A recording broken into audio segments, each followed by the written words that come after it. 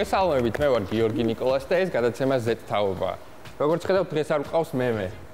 პანდემიიდან გამომდინარე, არავინ არ ვარ დაცული ხა ესეთი მდგომარეობებისგან და მემემ გადაინაცვლა იზოლაციაში. აქედან მოვიკითხავთ მას. მოვიკითხავთ ჩვენს. მოვიკითხავთ მას მალე გამოჯანმრთელებას ვუსურვებთ. ეხლა კი გადაცემის თავარი თემა. სერიალები, რომელიც მე ძალიან მიყვარს. განსაკუთრებით ქართული სერიალები. თქვენ როგორ ხართ? მოდი, მოდი. შენი საყვარელი თემაა. ჩემი ჩემი თემა. ლუკა, სად გაიძინე? დაჯექი, დაჯექი, არაფერი. სერიალები უყვარს ადრე ვასაუბრობ. ერთი წუთი, კაცო, მე აქ არ უნდა ვიჯდე. არა, არა, ბრძანდებოდეთ, არ არის პრობლემა. ერთი გადაცემა, ერთი გადაცემა. ხო, ერთით დავიწყებს და მე რომ ნახოთ როგორც. მე ერთით დავიწყე და წამოვწობი. არაფერს და არ მომწონს ეს ფაქტი. არა, კომფორტულად ხარ შენ მან. აი, არა, თემას. როგორ ხარ სერიალებთან, აბა? შვენივრად, მე ძალიან მიყვარს ხშირად უყურებ ხოლმე და ხშირად ვისმე ხოლმე რეკომენდაციებს კარგ სერიალებს. კი, ფილმებზე ხშირად ალბათ სერიალებს უყურებ მეც. მეც. ჩვენ თავად ზოგადად ძალიან განსხვავდება მაინც გემოვნებით სერიალების მხრივ. ცოცხალი მაგალითი აქვს ვარ. შენ ხო ქართულ სერიალებზე ძალიან. მე ქართული სერიალების დიდი მოყვარული ვარ და სხვათა შორის მონაწილეც გავხდი ერთ-ერთი ურეიტინგულესი სერიალის, რომელი? ცხელი ძაღლი. ცხელი ძაღლის გადაღებებზე ვარ ნაყოფი. გადაღებებზე სერიალში ხარ? სერიალში გამოჩენილია რომ გადაღების პროცესში ვარ მე ნაყოფი და ბევრი ისეთი დეტალი მაქვს ნანახი. შიდა სამზარეულოში შეიხედიან. ხო, შიდა სამზარეულოში ყვებათ რაღაცებს. მაგაზე მე მოვყვები. რომ მაგიტო უყვარს ყველაზე მეტად. შენი ფავორიტი სერიალი არ არის? ერთ-ერთი. მე ძალიან ბევრი სერიალი მიყვარს. ეხლა ჯენზი და სერიალები ხო, ჩვენი თემა. რას უყურებს ჯენზი თქვენი აზრით? რასაც ჩვენ ალბათ მე მგონი რაც ყველაზე ხშირად TikTok-ზე ხდებათ. TikTok-ზე Netflix-ი, Netflix-ი იყო. Netflix-ი ძალიან აქტუალურია. Netflix-ი ეხმარება ძალიან და კი TikTok-ზე რაც არის ხოლმე მაგას უყურებენ და თქვენც მაგას უყურებთ ხოლმე რას TikTok-ზე თუ როგორ არჩევთ? ზირითადად, ანუ მაინტერესებს ხოლმე, იმიტომ რომ იქ ისეთი ეპიზოდები იდება ხოლმე, რომ მე რაღაცნაირად გითხრებს და ხო, ამოჭრილი და ხო. და გითხრებს და გაინტერესებს მე რა ხდება სხვადასხვა ანუ ყველა რომ მაგაზე ლაპარაკობს, მე შენც გინდა რომ ჩაერთო. ხო და აი ხარ. ყველა რომ საუბრობს და ძალიან აქტუალური რა ხდება, როგორ ხარ? მე არ მიყვარს, არაზოს არ უყურებ. მე ზოგადად მიყვარს, როცა კომუნიკაციაში მე დიალოგში შევდივარ ხოლმე და შესაძლოა მირჩევნია რა ნახე. პერიოდი რო გავა, მე რა უყურებ ხოლმე და თან იცი რა არ მიყვარს სეზონების გაწყვეტა ხო იცი და ლოდინი ლოდინის ამბავია და მე მიჩვენია რომ ერთიანად უყურე ყველა სერიალს. კი, კაი. ხო, მაგრამ ბევრი რო უყურებს არ ნიშნავს ყოველთვის იმას, რომ კარგი სერიალია. რეკლამა, რეკლამა მაინც ხო იცი რა. ძალიან ბევრი სერიალი სერიალია ისეთი, რომელიც ტოპ 3-ში შეიძლება იყოს ნახვებით, მაგრამ არ იყოს ესეთი კარგი ჩემთვის. ხო. ხო, და ჟანრებსაც მნიშვნელობა აქვს. აი, ტოპ 3 სერიალი, სოფლიო ქართული არ ამგონი იმ სამეულში შეიყვანოთ, მაგრამ აი, სოფლიოს ტოპ 3 სერიალი რო დაასახელ თითო ეულა. ჩემთვის, ჩემთვის რომელია ტოპ 3-ში? პირველზე იქნება ალბათ Breaking Bad-ი. მეორეზე იქნება Rick and Morty. და მესამე არ მაქვს ჯერჯერობით. აა, შენთვის? ჩემი არის ალბათ ორთოდოქსი, ძალიან მიყვარს. ორთოდოქსი რა არის? აა ძართულია. რთულია, ესე უცებ მოიფიქრო. ლაკასას ახლა ცოტა მებანანურება ლაკასა, მაგრამ პირველი სეზონი მახსოვს, რომ არა სამში ხოვე შევ. სამში რა უნდა? მაგრამ პირველ სეზონზე მახსოვს, რომ აი ძალიან აღრთოვანდი, მაგრამ ეხა ისეთები ვნახე მის მერე, რომ აღარ შევიყვან. ხო და არაორდინალური იმით ხო გამოვირჩევი მე. პირველ ადგილზე არც მეტი არც ნაკლები, ნუ ლეგენდა სერიალი მაინც უნდა დავაყენო და რომელიც არის ჩემთვის გაქცევა. აა, გაქცევა პირველზე? ჩემთვის. ისეთ სუსტი სეზონები ქონდათ რამდენიმე რომ მაგით ფლიანობაში რა შევაჯამო, ჩემთვის გაქცევა ნომერი პირველი არის დღემდე. ნუ მისი სცენარიდან გამომდინარე ძალიან მომწონს, რა რეალურად სცენარი ქონდა უძლიერესი. მეორე ადგილზე დავაყენებ უძლიერესი სცენარით ასევე ცხელდა. და მესამე, ну, თქვენთვის ალბათ, თქვენთვის და ჩვენ თავობასაც პრინციპში ძალიან მოეწონა სექსუალური განათლება. აჰა.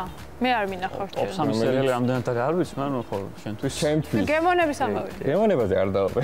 მესამე მე რა ვარ ჩემ ვერ გეტყვი. აღნიშნოთ რა, დღეს უკვე ისეთი ხარისხით და ისე კარგად იღებენ სერიალებს, რომ ფილმებს უტოლდება და ფილმებსაც რომ რამდენიმე ფილმს ჯობია კიდევ. პანდემიამ შეუწყო ხელი, რომ სერიალები ესე უფრო გააქტუალურდა და გაპოპულარდა. ხო, ანუ გაყიდვითაც ალბათ, ნუ მასე უფრო კარგ.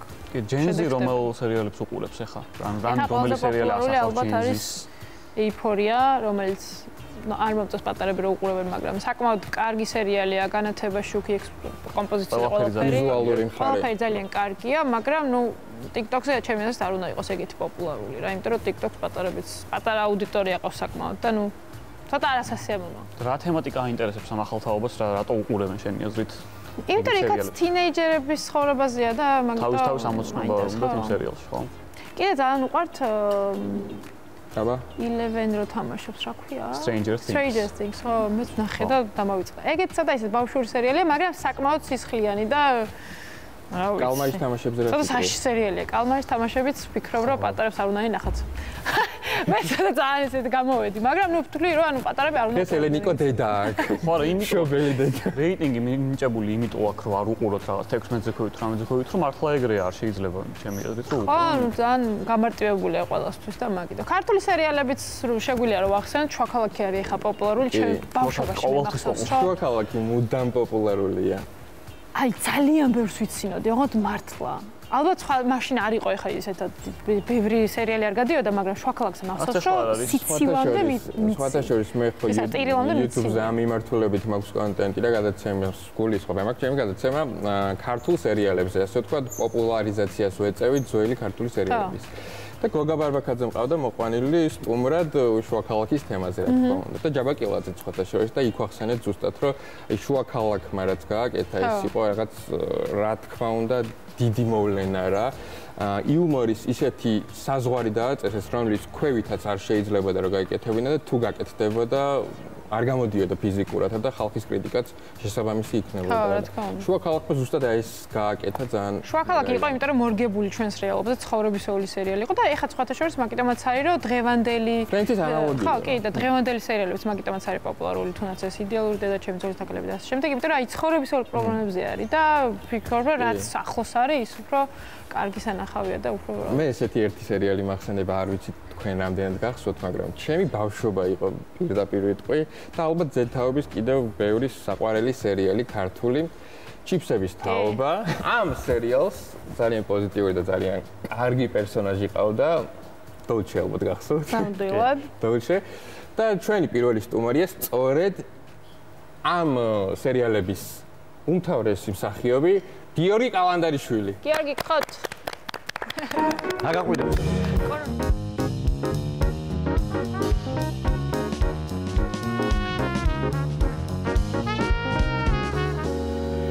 Merhaba. გამარჯობა. გაგემარჯოს. მადლობა რომ პირველ რიგში მოხვედით. მადლობა რომ მომიწვიეთ. როგორ ხარ? მე დავუსვა მე კითხვას. როგორ ხარ კორონაში, პანდემიაში, ამაში, იმაში? აი ერთი ერთი წამყვანი, ერთი წამყვანი. ერთი წამყვანი გამოგვარდა. ცოტა ხნით. ვისი ჯერი იქნება შემდეგ? მე ფოტოგრაფია. გიორგი, როგორც ისი ბავშვობაში არ ქონდა გადაწყვეტილი მსახიობობა და დირიჟორობაზე ოცნებობდი, თუ სწორად ვიცი? საიდან ის? მე ყველაფერი აგენტურა რა პორტალია. რა მოყვე ამ ყველაფრის შესახებ, საიდან აღმოჩნდი სამსახიობო სფეროში? აა იცი ანუ კი მქონდა ესე დირიჟორობა რაღაც ბავშვების ოღონდ ეს ძალიან ღრმა ბავშვების ოცნება არის და გამიგე. ყველა სხვა ექიმობა უნდა დირიჟორობა. მე დირიჟორი გიждდებოდი ამ იმაზე რაღაცა პროცესზე. პროცესი თვითონ ხო? ხო და აა მე რაღაცნაირად ეს გზა ბავშვობიდანვე დამიწესდა რომ რაღაც თეატრალური მიმართულებით უნდა წავსულიყავი სამსახიობო მიმართულებით იმიტომ რომ თეატრში მოვხვდი ბავშვობაშივე ანუ გარემო გამოიწვია ხო რაღაცა ეს კარგი ნაბიჯი იყო და ძალიან კარგ მსახიობ ძალიან კარგი მსახიობები მზრდიდნენ ესე ვთქვა და სოფიკო ჭიაურელი, კოტე მახარაძ, გოგი გეგეჭკორი, მარინა ჯანაჟია, მურმანჯინორია და ნუ აი ტიტანები ვინც იყვნენ მაშინდელი სამსახიობო სფეროსი, მაგ ადამიანებთან ერთად ცხოვრობდი ფაქტიურად. მანამდე იყო საბავშვო სტუდია და ასე შემდეგ რა რაღაცა 90-იანებში რაღაც სხვა გასართობები რო არ იყო აი ეს იჩენდნენ ხოლმე თავს ეს რაღაცა წრეები რო რასაც ქვია რა და აი ჩემო მშობლებმა უტყუას გადაწყვიტეს რომ კარატეზე და თეატრში თეატრალური მიმართულება ყოფილიყო. კარატის არ გამოვედი, მაგრამ რაღაცა. თქვენი ბედნიერი ხარო თეატრმა გადაგზავა. ხო, არ ვიცი, ხო, რაღაც კი ბედნიერი ვარ და ის არის რაღაც ალბათ ნათელი და კარგი მაშინ მარტო ეგ ხდებოდა რა ალბათ. ჰმ. თეატრის შემდეგ, ну თეატრთან ერთად სწორად. რამ რამ ხელ რამდენად დიდი გავლენა მოახდინა შენ ცხოვრებაში? აი სერიალებმა უკვე როდესაც ჩაერთე პირველი პირველი გოგონები და ბიჭები და გოგონები.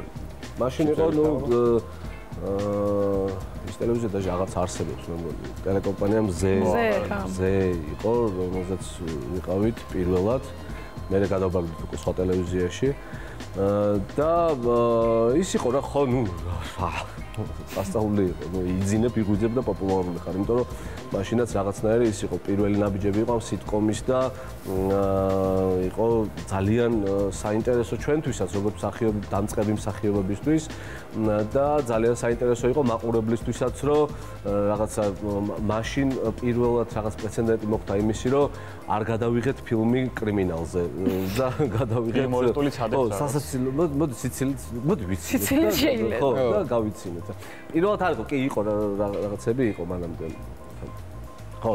ну, მაგრამ ჩვენ თინეიჯერებზე გაკეთებული ეს რაღაცა სიტკომი იყო ესეთ პირველი ნაპერწკალი რა და საკმაოდ დიდი მოწონებას დაიმსახურა მაგ პერიოდში, ну, რა თქმა უნდა. მოწონებაც არის და მოწ მე მაგალითად ან ჩემ ჩემ თაობის სკოლაში, კლასელები, სკოლელები მუდამ განხილვა მიდიოდა გაკვეთილის პროცესშიც კი მუდამ განხილვა მიდიოდა შემდეგ სერიაში რა იქნება უიგუშინ რა იყო. ისიც კი მახსოვს რომელ საათზე იწყებოდა ჩვენი ოფისი სკოლიდან რომ მოვდიოდი 4-ის ნახევარზე იწყებოდა ჩვენი ოფისი. აუცილებლად. აი წარმოედგინე როგორი ჩვენი ბავშვობა იყო და მაგითა ჩვენი ბავშვობა იყო და ესე დეტალურადაც ვახსენე ხო ჩვენი ოფისი იყო რაღაც სასწავლო სასწავლო. რამდენი წლის იყავი იმ პერიოდში, როდესაც სერიალებში გადაგიღეს? 20-ის. 20 წლის ვიყავი პირველი პირველი სერიალის დროს 20 20 წლის ვიყავი და 4 წელი თუ 5 წელი ვიღებდით სერიალს. და ეს იყო ნუ რაღაც ძალიან ბევრ კარგ მოგონებასთან ერთად ძალიან ბევრი წვალებაც იყო რა, იმიტომ ყოველდღიურ რეჟიმში სცენარისტებიდან დაწყებული ხა სცენარის წარმოედგინე ყოველდღიურ რეჟიმში უწევს სცენარის მოფიქრება, რომელიც სასაცილო უნდა იყოს. ეს ძალიან რთული ამბავი არის, რომ დიდი ხალხის დიდი რაოდენობა გააცინო და ჩვენც გვიწევდა ამის მორგება ამ ყველაფერზე და ძალიან ხო, ნუ ღამეებიც გვითენებია, აი ყოფილა რომ აი წინა დღეს ჩაგვიწერია შემდეგი დღის სერიალი, აი წინ სწრებაზე ხო ხო არის საუბარი და აი ღამის 3 საათზე რომ აი შო მოვჭით მოდი ხა და მე ცალკე მემონტაჟები იტანჯებოდნენ და ლანძღავდნენ ფათხალ. ქუჩაში თუ შეხვედრია ხალხი, რომლებიც შენივე ტერმინებით საუბრობენ. მე მაგალითად ირგვლივ ძალიან ბევრი მყავდა. რო შენივე ტერმინები და არა მარტო შენი თქვენი პერსონალის მსახიობების ტერმინები ძალიან ბევრი საუბრობენ. ხო, არ ვიცი, ალბათ კი. იუმორიც კი აიტაც, თქვენი იუმორიც და ტერმინებიც კი აიტაც. ხო, კი, ეგ ეგ ვარიანტებიც იყო, კი. და სასიამოვნო იყო ყოველთვის რა, ყოველთვის როცა საზოგადოებისგან გზნობდი იმ პოზიტივის და იმ რაღაც სიყვარულს რისთვისაც შრომობდი რა ეს გამოისახებოდა ამაში რომ შენ მადლობელი იყავი იმ თითო ღიმილის და თითო რაღაცა ჩახუტების თუ მოდი ფოტო გადავიღოთ ის რასაც იქ წვალობდი რა და ეს ალბათ ეს არის მსახიობის ბედნიერება. სხვა რა სხვა. სცენარის წერა იყო ძალიან რთულიო და რთული გადასაღები იყო ძალიან ბევრი მუშაობა ჭირდებოდა და ხო ვფიქრობ რომ მაგიტო არ არის დღეს და კარგი ხანია უკვე სიტყვებს აღარ იღებენ საქართველოში დიდად. იმდენი სიტყვი აღარ გამოდის. აა იცი სიმართლე გითხრა მაგის კვლევა ეს არ გამიკეთებია ანუ არ ვიცი რეალური მიზეზი მაგისი რა რა რა სტელობები მე მახსოვს ცოტა ხნის წინაც იყო სიტკომის მიმართულების, მაგრამ აი რა მოხდა დაუშვათ რამ განაპირობა იმან რომ სიტკომი არ არის სიტყვა დღეს და უფრო სხვა ჟანრობრივი ატაცება ხდება მაყურებლის დაპყრობა ხდება ესე ვთქვათ. აი ეს არ ვიცი რისი ბრალია რა. და მოთხოვნა არის ბაზარზე ძალიან მოთხოვნა არის კი ან მოთხოვნა არის რომელია ანუ მოთხოვნა არის. და ალბათ ვიღაცა მანდ არის ძალიან რთული კომბინაცია აი თუ დაუშვათ შენ წერ სცენარს სერიალისთვის რომელიც არ არის იუმორის მიმართულებით აქ არის საინტერესო ის რომ წერალი გჭირდება გჭირდება ადამიანები რომლებიც ამ სცენარად ჩაშლიან და ეს ნუ შევთანხმდით ამაზე. მაგრამ აი აქ გჭირდება მეორე მხარეში, გჭირდება სიტკომზე თუ გვაქვს საუბარი, გჭირდება ადამიანების გუნდი, რომლებსაც აქვს ძალიან კარგი იუმორი. ანუ ეს ამ ამათი თავმოყრა ერთობ თან ის იუმორი რომელმაც უნდა დააკმაყოფილოს და უშუალოდ ისიც და ისიც გემონებაზე არ დაობენ სამბავში მივდივართ აქ ვეთახმეთ მაგრამ აი ის რომ პასუხი გასცეს დღევანდელობას პასუხი გასცეს მოთხოვნებს თინეიჯერულს და პასუხი გასცეს და უშუალოდ მოხუცებს ასაკობრივი ადამიანების. აი ამის ერთობლიობაში და მე ეს თან ვიცინეთ ამაზე აი ეს ძალიან რთული აღმოჩნდა ჩვენს რეალობაში რა ამის შეფუთვა ესე ვთქვათ რა. მე ესე მგონია. და მაგიტომ ის ბოლო პერიოდში რა სიტყვების რა მცდელობებიც იყო ესე ვთქვათ კრახი განიცადა ჩემი აზრით რა.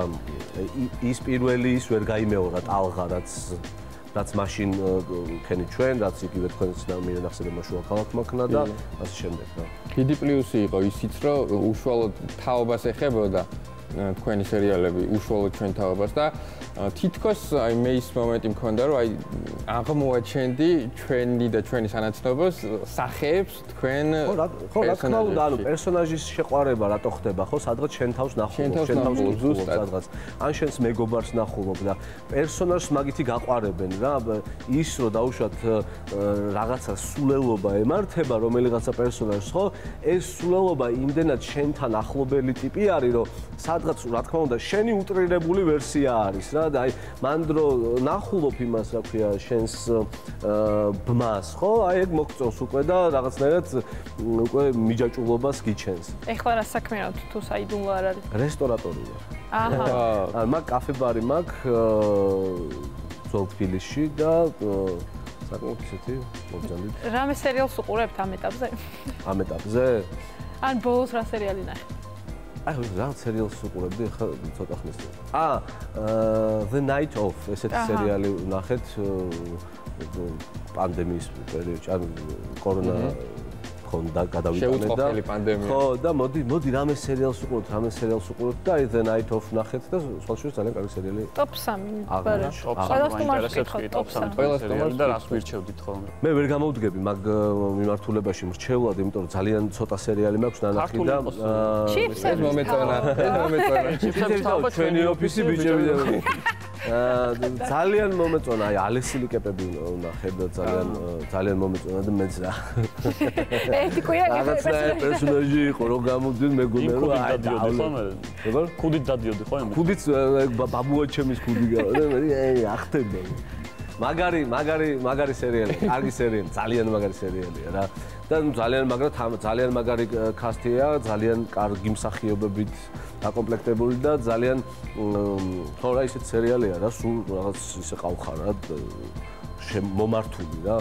ვიკინგები მომეწონა ძალიან, რაც ვთქვი, ვიჩერი მომეწონა ძალიან, ძალიან აი ეს Night of It ძალიან აა Black Mirror-ი მომეწონა. Black Mirror. ინახავს ესე იგი, რაღაცა გახსენება უდოდა თო.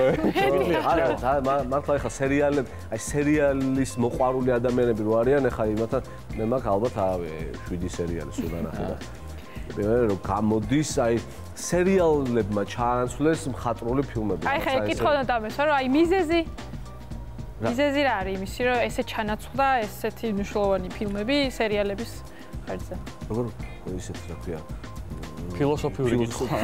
კითხვა და ჩაუღრმავ. ხო არ აი რატო ხდე არა ხო არსებობს იმიტომ რომ არა ბევრი პასუხი აქვს არა და იცი როგორ რაღაცა არ ვიცი. უფრო უფრო ალბათ სერიალებ მოკლედ აი სერიალებმა რაღაცნაირად აი ის რაც საუბრობდით ხო? აი დავშოთ შუა ქალაქმა თუ რაღაცა იუმორის ჟანრში რაღაცა მაგაზე დაბლა და სწორედ მაგით აი აი ნახე. თქვენ აი სამაგერო თქვენ დაიწყეთ თქვენ დაიწყეთ შუა ქალაქმა აწია პლანკა და რაც მე მოხდა ალბათ ალბათ მე არ ვიცი ხა ალბათ უფრო დაბალ იუმორში იყო საუბარი და მაგიტო ვერ გადაუსწრეს ამ დანარჩენს. განვითარებადი ვეღარ გამოდგა. ხო, რაც ქნა დაუშვათ ქერჩმა და ტიფლის, მანუ ქერჩის და ტიფლის სერიალ ხარისხის სერიალს თუ არ გადაიღებ აზრი აღარ მოგეკითხება. მოდი აღარ გადაიღო, იმიტომ რომ მაგათმა აწიეს ეს რაღაცა ხარისხობრივი. ხო, ხო, ნუ რაღაცა ან მაგათნაირი უნდა ან რასაც საკმაოდ ბევრი ფული ჭირდება. ძალიან დიდი მადლობა. როგორი კადრება თქვენ? ძალიან სასიამოვნოა თქვენთან საუბარი და ძალიან დიდი მადლობა რომ მობრძადით. გაიხარეთ, მადლობა თქვენ. თქვენ თქვენს გადაცემას და მე სანამ გამოვაცხადებ შემდეგ სტუმარს, მინდა ნახოთ ჩემი რუბრიკა. შემდეგ სტუმართან ვიყავი სახში და ვნახე როგორ იღებდა სერიალებზე კონტენტს. აბა. ვუყუროთ სიუჟეტს და შემდეგ გამოვაცხადებ ჩვენ სტუმარს.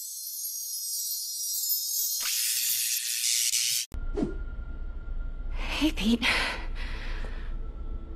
MJ? Happy or sad? Sad. Okay. But I warn you, I break your heart. Already broken. I kill people I like. I don't feel sad. I don't feel anything. შემოვიჭერით თეოსთან, მოკლედ და ეხლა აბა, ჩვენებს აბა. თუ როგორ ემზადება გადასაღებად და რა პროცესებს გადის მოკლედ სანამ კამერა ჩაირთვება. თეო, რას ვიღებთ, რომ მოგვიყვე მოკლედ და როგორ ემზადება? ვიღებთ ძალიან საინტერესო პერსონაჟს, ახლა განსაკუთრებით პოპულარულია, ვიჩერი, ქართულად მხევარი, მხედვარი, მხედვარი. აა ხა და ნუ მოკლედ ახლა ყველაზე რთული პროცესია. ლიზების ჩასმა. ხა ცოტა ხანი ვიტირებ და არ შეიჩნევ გერხოცებით. ლიზების ჩასმა საკმაოდ ტკინული პროცესია, იმიტომ რომ ალბათ მე მაკიაჟი რო არ ჩამოგივიდეს. აი ზუსტად ეგ არის. ყოველ შემთხვევაში ჩემთვის ზუსტად ეგრეა, იმიტომ რომ მიცდია, პირიქითაც მიცდია, რომ მოდი ჯერ აბა მაკიაჟი, მერე ლინზა და აბსოლუტურად ყველაფერი წყალში ჩამეყარა შესაბამისად. მოდი ჯერ ვიტირებ და მერე მაკიაჟზე გადავიდეთ. ეხლა მითხარი, ამ ყველაფერს იწერ ხო ალბათ ამ პროდუქტებს, პარიკი, ლინზები, აქსესუარები. ზოგადად კოსპლეიერები, აა მეც ვთვლი, რომ თუ კოსპლეიერი ხარ, ზოგადად ძალიან ტანსმოს მოქმედე შენ. ხო. აა მეორე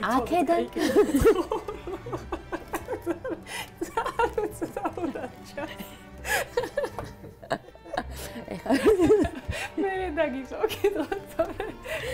ძალი ძალი ძალი ძალი ყავის მე ძალიან მართლა ვიჭერი ხარ ყავე. გრიმს იკეთებ თმას და ასაცმელს ფაქტობრივად შენის თეატრი გაქვს და თავარი მსახიობი შენ ხარ. მე მეორე ხარისხოვანი რეჟისორი. გამოდის, რომ ჩემი პატარა თეატრი მაქვს სახში მოწყობილი.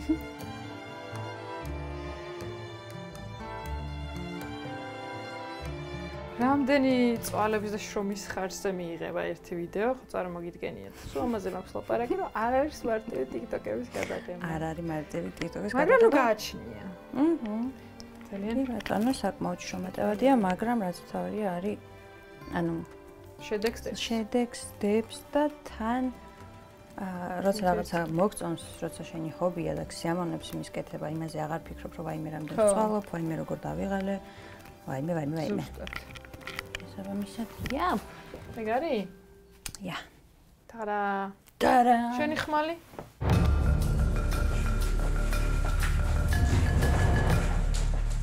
მაკიაჟი დამთავრებულია, თმა დამთავრებულია, ტასაცმელი მშვენიერი.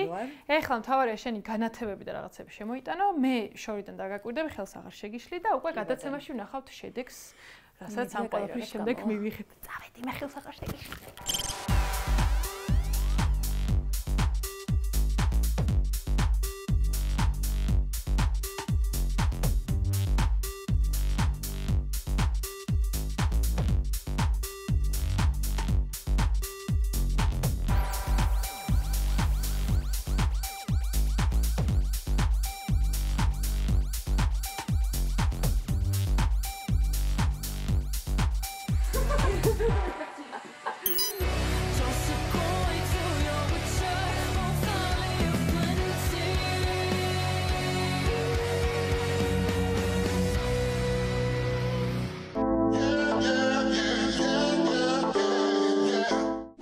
ანიმაციური კინოს რეჟისორი და გრაფიკოს დიზაინერი თეო ნუწუბიძე.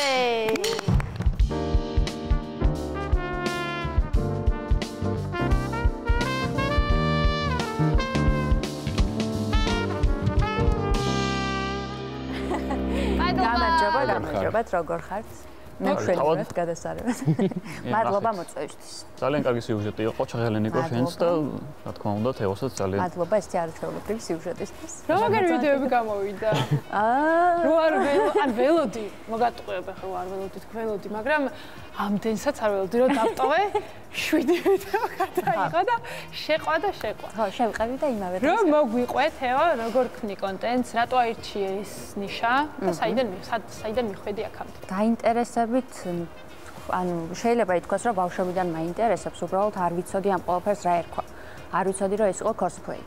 შესაბამისად, უბრალოდ რაღაცა ჩემით ვიგონე, მეგონა რომ ჩემი გამოგონებული იყო და მე უკვე ჩამოყალიბდი, გავარკვიე რა და როგორ ხდება და თავიდან ჩემთვის ვაკეთებდი ამ ყველაფერს, მაგრამ დაახლოებით 1 წლის წინ გადავწყვიტე, რომ ხალხისთვისაც გამეზიარებინა და აი აქამდე მოვედი დღეს. აი ესე, აი ვიცი, მე მგონი მოწონს ხალხს. მე მე მგონი მოწონს. მე ვიდა მიულოცოთ, იმიტომ რომ 100.000 გამოწევი და და ვიცი რომ უჩუბა, მე ვიცი როგორ გიზრდება. ლუკას ხოთა YouTube-ზე დააგრო 100.000 და YouTube-ზე 100.000 გამოწევი. მადლობა. მოკლედ 100.000-ების დღე გვაქვს დღეს, ძალიან კაი. როგორ არჩევ ხოლმე ანუ პერსონაჟებს გამოწერები გიწერენ და იმის ვიდეო სახით პასუხობთ? ანუ როგორ არის, იცი, არის ხოლმე გამოწერები წერენ და შეიძლება სულ არ მახსოვდეს ის პერსონაჟი რომ მომწონდა და ყოფილა ეგეთი შემთხვევებიც, რომ აი ანუ თქვამთ, რომ აი იმას გავხარ ძალიან და აბა ცადე. ვიზა უთქვა ის გახდა ბელატრიქსაზე მიხეს და კიდე ძალიან უნდათ რომ კრუელაც გამეკეთებინა კოსტიუმი მაქვს დევს ჯერ არ გამეკეთები და არ ვიცი გავაკეთებ თუ არა და დანარჩენი უმეტესად მე რაც მომწონს და რაც მიყვარს ფილმები, სერიალები, აუცილებლად რაც ნანახი მაქვს იქიდან გამომდინარე, იმიტომ რომ რაღაცა როლში კარგად მე შევიდე და შესაბამისად აქედან იწყება ხოლმე, რომ აი თქვა, აი არქეინი რო გამოვიდა ახლა ანიმაცია, ერთ დღეში უყურა გიჟივით და მეორე დღესვე ანუ არ მქონდა cosplay, მაგრამ მე თვითონ რაღაცა შევქმენი, რაღაცები გავაკეთე და ანუ კოსტიუმებს შენი თქვი თუ იწერან? არა, ვიწერ კიდევაც, მაგრამ ნუ იშვიათად, ჩემი თქვი არ ქვია, იმიტომ რომ ფაქტიურად შესაფერის სტილის ტანსაცმელს პავლობ და შემდეგ უბრალოდ დეტალებს ვამატებ. ანუ თავიდან ბოლომდე მე არ ვქნი ნამდვილად, ანუ ბევრი დროც უნდა მიუხედავად იმისა, რომ კერვის კურსების მაგდამთავრებული, ნამდვილად არ მაქვს ხოლმე იმის თავი, რომ აი მე ახლა დავჭდე და თარგებით თავიდან ბოლომდე. მაგრამ მაქსიმალურად ამსგავსებს ხოლმე იმ პერსონაჟს. ვთქვი, რომ მაქსიმალურად დავემსგავსო, ну, ხან გამოდის, ხან არა. ყოფილა შემთხვევები, რომ რაღაცა გადამიღია და საერთოდ არ დამიდია, იმიტომ რომ შედეგით ძალიან უკმაყოფილო ვიყავი და გამჯობინე, რომ ჩემთვის შემენახა კომპიუტერში. და ყველაზე კარგი შენი აზრით რომელია შენი cosplay? ვაიმე არის აი მაგაზე როგორ არის იცი? წარმოიდგინე ისეთი კითხვა იყო დედა უფრო გიყვარს თუ მამა? წინ გადავიღე რაღაც ხო ვიჩერი მაგალითად და აი იმ პერიოდში აი ახალ გადაღებულზე იმაზე გიждდები ხოლმე რა. შემდეგ ახალს გადავიღებ და იმაზე მაგ რაღაცა ანუ ერთმანეთზე უკეთესებს იღებს ხო ანუ სხვა შეიძლება ანუ ერთმანეთზე უკეთესი არ ვიცი მაგრამ ფაქტია რომ ამ ერთ წელიწადში ძალიან დაიხვეწა ჩემი ცოდნა ამ საკითხში იმიტომ რომ ეთყობა პირველ ვიდეოს და ბოლო ვიდეოს ძალიან დიდი განსხვავებაა და ნუ მე მიხარია, იმიტომ რომ თან სწავლობ, თან არა, კარგად გამოგდის ნამდვილად. და ორიექცია მომნებს შენ. ან მთელი აზრიც ისე რა ჰობია, რომელიც გადმოვიტანე სოციალურ ქსელში რა. TikTok-ზე ძალიან იშვიათია ესეთი ხარისხენი კონტენტი, თითქმის კი, კი. თითქმის ერთეულები არიან და ძალიან ვაფასებ რომ ამ დასწავლობ და გლობალზეც გავარდა შენი ერთი ვიდეო და რომ მოყვე ამ სხვა შორის გავარდნილი ერთი უბრალოდ მილიონამდე ვერავით და კი, კი, ანუ შაშანაც იყო ერთი ვიდეო ტონი სტარკის შვილს თამაშობ ვითომ მორგან სტარკი ვარ ვითომ და ეს კო ჩემით რაღაც ფანტაზიებში წავედი მე ის იყო გლობალზე გასული და ეს ეხლა ხანს ენკანტო ანიმაცია რო გამოვიდა აი შემფერებში რო ვარ გადაცული აბსოლუტურად შემფერები მაქვს გადმოაღებული და კი ძალიან ისეთი გახდა. ანუ ზოგადად ქართულ TikTok-ს აკლია ქართული საუნდები. კი რაზეც შეიძლება, ანუ ჩემ სფეროზე მაქვს ახლა აპარატი თორე ქართულად ყველა აპარატს. რომელზეც შეიძლება რომ ლიფსინგი გააკეთო და რაღაცა უცხოელები როგორც აკეთებენ იგივე კონტენტი გადმოაქართულო, იმიტომ რომ ანუ გახმოვანებული რაღაცები ნაკლებად გვაქვს. კი. უზომოდ გამიხარდა პირველად რომ ნახეთ, ანუ ერთად ნახეთ. ეს ანიმაცია და ანუ თვითონ სიმღერებმაც საოცარი შთაბეჭდილება მოახდინა პერსონაჟებმაც ანიმაცია. კარგი ნამუშევარი იყო. მეორე დღესვე წავედი, ხო მე? კი, მეორე დღესვე წავიდა მეორადებში და მაღაზიებში. აბსოლუტურად ყველაფერით მოვიარე, მეორადების მოვიარე, მოვიარე ჩვეულებრივი მაღაზიების, ნახევარი იქვიშავე, ნახევარი იქვიშავე და ბოლოს TikTok-ის TikTok-ზე რო ვიდეო დაგედო მაგისთვის ხო? კარგი, შემდეგი სტუმარი უნდა გამოაცხადოთ ახლა. შენ არ გიშვებთ ასეთ. ჩვენთან იყავი და კი, იყავი ჩვენთან და თან ხო, სერიალები უნდა გვირჩი რაღაც დაგვრჩა სასაუბრო, ამიტომ იყავი ჯერ ჩვენთან და შემდეგ ის სტუმარი უნდა გამოაცხადოთ. ეს არის ბლოგერი და გვირჩევს ხოლმე ძალიან ხშირად ფილმებს, სერიალებს არ აქვს მნიშვნელობა. ნატა ჟვანია. ნატა გწყო.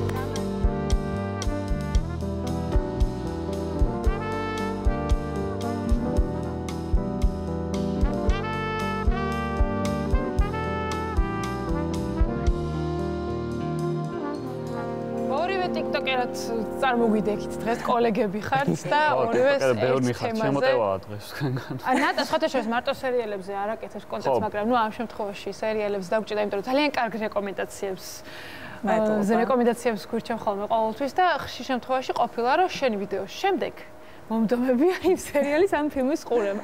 ეხლა რას უყურებ და თუ გვირჩევ ამ ბოლო დროინდელ სერიალებიდან რომელიმეს? კი ბატონო. მოკლედ პირველ რიგში მადლობა მოწვევისთვის. მადლობა რომ მოხდეთ. აა იც რა ამ მომენტში ვუყურებ სერიალს რომელიც არ არის ახალი სერიალი Liar ესე ქვია აიკონიკ სერიალია ერთ-ერთი. ბევრი წლის წინ გამოვიდა მაგრამ აქამდე რაღაც ვერ მოვიცალე მაგისთვის ძალიან მაგარი სერიალია. არ ვიცი ჯენზეც რამდენად უნდა ურჩიე იმიტომ რომ ცოტა ისეთ თემებზე მაგრამ ძალიან მაგარი სერიალია ეხლა ამას ვუყურებ და რა თქმა უნდა ვუყურებ იმას რასაც ყველა ეიფორიას ვუყურებ მაგალითად და მივსდევ აა ყველა სიახლეს, რაც რა ვიცი, ამ სფეროში არის. ძირითადად ჩემთვის მაინც უფრო მეტად საინტერესოა ისეთი სერიალები, რომლებიც უკვე დასრულებულია. ხო, რა თქმა უნდა, მასლის ეტაპში არის, იმიტომ რომ ხშირად მავიწყდება ხოლმე საერთოდ წინა სეზონში რა ხდებოდა და რაღაც და გამეორება მიწევს ხოლმე. და ამიტომ ვცდილობ, რომ უფრო მეტად ისეთ სერიალებზე შევარჩიო არჩევანი თუ მოვითმენ, რა თქმა უნდა. რომელიც დასრულებულია. ანუ გვიან ნახულობ ცოტა სერიალებს, რომ ერთიანად, აი? კი, მირჩემნი ეგრე. მე ეიფორია წელს ნახე, შარშან არ მინახავ, წელს ნახე მთელი სეზონი ორ დღეში. ხო, რა, მეც შარშან ნახე და ეხლა მეორე სეზონი წელს ნახე და ამიტომ მახსოვს და აი რაღაც 3 წელი რო გიწევს ლოდინი, ძალიან რთულია მე მგონი რა. შენი ტოპ 3 სერიალი რო გითხრა და მე თეოსაც ვკითხავ ამ კითხვას. კი ბატონო, ძალიან მიჭერს. მანამდე იფიქრე. ხო, ხედა მოფიქრებისთვის რომ მოკეცი. ხა, მიჭერს. აი, ჟანრობრივი მრავალფეროვნების ვიყენებით, რომ ავიღო პირველს ვიტყოდი სიტკომი და არის ფრენსი. იმიტომ რომ გიჟდები, არ ვიცი რამდენჯერ მაქვს ნანახი. აა მეორეს აი ძალიან საყოველთაო ცნობილებიდან ავიღებ და არის Lost-ი დაკარგულები. ჩემთვის აი პირველი სერიოზული სერიალი იყო, რომელიც ნახე. ბრაზილიური სერიალების მერე, ну, მაშინ სკოლაში ვიყავი ჯერ კიდევ, მაგრამ ძალიან მიყვარს დღემდე და ასევე ბევრჯერ მაქვს ნანახი. და მესამე უფრო აი ფანტასტიკური ჟანრი რო ავიყო არის გოთი რომელიც რავი ჩემი აზრით შედევრია ბოლო სეზონის მიუხედავად. კი. ბოლო სეზონის გოთი ხო შორს არ მაქვს ნახე შეგიძლიათ ჩამქოლოთ მაგრამ ანუ მე მაგაზე ბრაზდები ხოლმე რომ თავის დროზე თუ არ უყურე აი როცა აი ერთმანეთში ვჯელობენ ხო აი რაღაც ანუ მე უკვე ვეღარ ვეღარ ვიცი სალაპარაკო ანუ პირიქით ხარ ჩემთან იყო გაზიარების მომენტი ძალიან მნიშვნელოვანია სხვათა შორის მეც რატო იცი მახსოვს რომ გოთზე რაღაცა ჩელენჯი იყო ქუჩაში და დაბოდიალობდნენ, რაღაცას ეძებდნენ, ქართველები ოღონდ. ხო. და ანუ მაგ დროს მომინდა რომ მეთქი ანუ რას ეძებენ? და იქნებ უყუროთ და ვეღარ ჩაუჯექი. თორე ძალიან ვიცი რომ ძალიან საინტერესოა. თეო შენც მოგეცი აფო რამდენი ხანი? ნერვი ფიქრე და ბოლოს გადავწყვიტე ეს პასუხი გაგცეთ. როგორც ანიმაციური კინოს რეჟისორი, ანიმაციებსაც აქვს სერიალები შესაძლოა. კი. ანუ სხვა შეიძლება რა დავფიქრდეთ, სერიალებს ზე მეტად მაინც უფრო ფილმებს უყურებ ხოლმე, იმიტომ რომ ეს სერიების ნერვები მეც არ მაქვს ხოლმე. თუ ანუ ერთი პლუსია, რომ თუ ერთად დევს თელი სეზონი შეიძლება ვნახო, აი, ველოდო ყოველ კვირა ნაშებულია. შესაბამისად, ანუ უფრო ანიმაციური სერიალები უფრო ნანახი მაქვს და არის ეს ანიმაციური სერიალი ავატარი თუ იცი? ავატარი კი ვიცი. ანუ ძალიან ბევრჯერ მაქვს ნანახი და ეს პერსონაჟებსაც ყოველთვის რაღაც ძალიან გამიცდიდი და მიყვარდა. მე ავატარის ერთ-ერთი პერსონაჟი მყავს სახლში. აპა. ვაა. გობი აპა. ფაქტია რომ მაგხელა. ის აქ თავზე. ის არის ის არის უნდა დავახატო თავზე და კუდის ეგრე ეგრე გამოდის ზუსტად. ცოტა ხანში ფრენასაც ის. ხო, მასწავლით. სხვათა შორის რადგან ძველებს დაუბრუნდით, მოდი ერთს გავიხსენებ და აუცილებლად გეცოდინებათ ეგ ანიმაცია. იყო ეს ცი ანიმაცია, რომლითაც დაიწყო ჩემი ანიმეების ყურება, იყო გრენდაიზერი. აა, გრენდაიზერი კი. გრენდაიზერი მე მგონი 90-იანი ბავშვების ის არის საუნდტრეკი. და სხვათა შორის ადრე მედო TikTok-ზე ვიდეო ესეთი რომ ანუ შეიძლება ასაკიანი ასაკიანი იყო, მაგრამ ამდე ანუ გახსოვს ეს რაღაც ესეთი ტიპის TikTok-ის ტრენდი იყო და დავდე ზუსტად ეს Grandizer-ის opening-ის საუნდით და ვიდეო და არა ვიცი. შენზის უმეტესობა ეს რა არის ეგეთი ანიმე არ არსებობს. მეთქი. კაი. სანამ ანიმეები იქნებოდა მანამდე. ეს არის რავით. ეგრევე. არა, Grandizer-ი მართლა 90-იანი ბავშვების საუნდტრეკია მე მგონი. მესამე არ გაქვს ანუ მესამე მესამე არ მაქვს იყოს ორი არა მე ჩემი პირადი კითხვები მაქვს ერთი წუთი მე ცხელ ძალზე. ქართულ სერიალებთან რა ხარ ძალიან დიდი მოყვარული ვარ ცხელი ზაღლის. ანუ მართლა გასათვალისწინებელია, რომ 2000-იანების დასაწყისში, რომ ეგეთ სერიალს გადაიღებს სცენარი არის მართლა არაჩვეულებრივი, უბრალოდ რაღაცების გაკეთების საშუალება ტექნიკურად ვერ მოხერხდა, იმიტომ რომ ბიუჯეტი არ იყო 2000-იანების დასაწყისში. საქართველოში შუქი არ იყო და ასე შემდეგ და აი მაგ ყველაფრის გათვალისწინებით, ჩემი აზრით, რავი, მე პირველად გლას ვაყენებ ქართულ სერიალებში, ყველაფრის გათვალისწინებით ხალ ძაღლს. და შეგიძლიათ იმეგობროთ. იცის ადამიანი. სხვა შორის ცხელი ძაღლი კვლავ არის. კი, ნამდვილად. ან ძველი არ ნიშნავს უნდა. მე მგონია რომ რაღაც კორეული დრამებია პოპულარული რატოა მაინტერესებს რაღაც. სხვა შორის მე მგონია რომ ეს დორამებით ანუ კორეული დრამებით დაინტერესება ძალიან ეს არის რა ქვია ლოგიკური არის, იმიტომ რომ კორეის კულტურა ძალიან ეხლა ესე თქვა პოპულარულია ნებისმიერი მიმართულებით და მე პირადად აი რაღაც ძალიან ისეთი კორეული სერიალების გარდა როგორიც იყო და უშუალოდ ეს კალმარის თამაშები მაქვს რაღაც კორეული სერიალები ნანახი რომელიც ვიტყვი რომ ბევრად უფრო კარგიც არის ვიდრე კალმარის თამაშები და ზოგადად კალმარის თამაშები უფრო საერთაშორისო პროექტია და არ არის ტიპიური მე მგონია რომ TikTok მაიტაცა და მაგით გახდა პოპულარული. რომელია? გვირჩია და იქნება აი მე მაგალითად ძალიან მომწონს ალისფერი გული. ესეთი სერიალი არის Scarlet Heart ქვია ორიგინალში ინგლისურად უფრო სწორად და მოკლეში არის სერია. ნუ ეს არის კი ეს არის კორეის ისტორიაზე ფაქტობრივად. აი სერიალები კიდე მაგიტო მომწონს რომ ნუ შემეცნება ფაქტობრივად როგორც ციგნიდან ამ ფილმიდან იგებ რაღაცებს ეგრე იგებ კარგი სერიალიდანაც და ეს არის კორეის ისტორიაზე ერთ-ერთი ყველაზე ესე ვთქვათ ერთ-ერთ ყველაზე ცნობილ მეფეზე